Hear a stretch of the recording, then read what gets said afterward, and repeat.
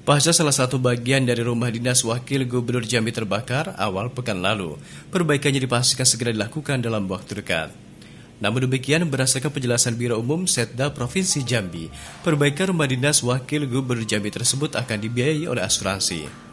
Pasalnya empat gedung penting pemerintah Provinsi Jambi, mulai dari Gedung Sekretariat Daerah Provinsi Jambi, Rumah Dinas Gubernur Jambi, Rumah Dinas Wakil Gubernur Jambi, hingga Rumah Dinas Sekda Provinsi Jambi, seluruhnya diasuransikan.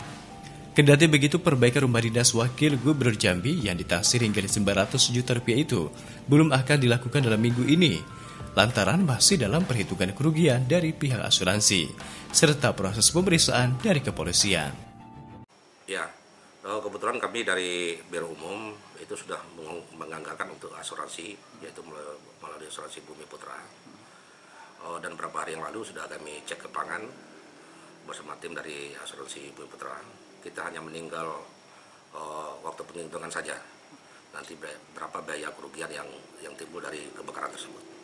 Artinya kebakaran eh, perbaikannya ditanggung oleh asuransi? Ya, hmm. kebakarannya ditanggung oleh asuransi. Nanti uh, tinggal kesepakatan kita saja dengan asuransi apakah uh, pihak asuransi yang bangun sendiri atau dananya diberikan ke pemerintah daerah nanti pemerintah daerah yang bangun.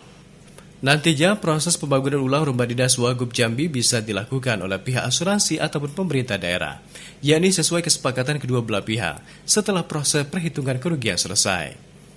Kemudian, dari catatan Biro Umum, nilai asuransi empat aset pemerintah daerah Provinsi Jambi setidaknya hanya menelan uang APBD sebesar 80 juta rupiah per tahun. Dari Jambi, Arta melaporkan untuk Jambi 28 TV.